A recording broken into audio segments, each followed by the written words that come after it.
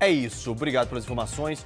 Olha esse flagra, gente. É, um tamanduá bandeira foi visto correndo livremente. Olha só que imagem bacana aí, ó. Isso pelas ruas de Sobradinho 2, viu? O pessoal que passava de carro próximo ao condomínio Bem-Estar foi quem registrou as imagens, viu? Depois de filmar, ele aí, gente, todo bonitão, dando uma voltinha pela cidade, o batalhão ambiental foi chamado para quando e quando chegou, né, o animal já tinha voltado para a área de mata. Os agentes acreditam que o tamanduá saiu para fazer uma boquinha e acabou indo longe demais, chegando até a área urbana. Viu um animal como esse? Faça como essa telespectadora que mandou pra gente fez, viu, gente? É só, inclusive, acionar o 190 que a Polícia Ambiental vai aí chegar, né, e vai fazer o, o devolver esse animal para a natureza. Nós ouvimos, inclusive, o policial ambiental que fez a captura do tamanduá. Olha aí.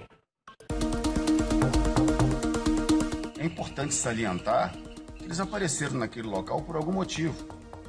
Buscando alimento, buscando abrigo, buscando segurança. A gente orienta que a comunidade não perturbe os animais, que a comunidade não tente conter, prender, apreender esses animais.